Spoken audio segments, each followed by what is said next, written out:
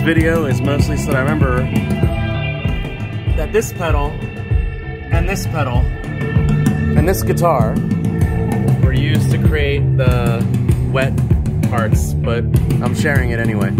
Uh, new, new song, sort of.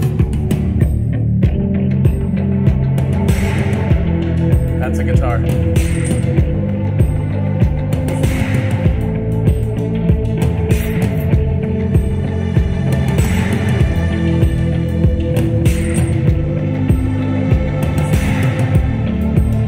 Those are the drums.